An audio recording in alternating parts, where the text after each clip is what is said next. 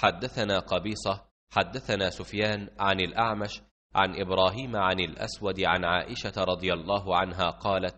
توفي النبي صلى الله عليه وسلم ودرعه مرهونة عند يهودي بثلاثين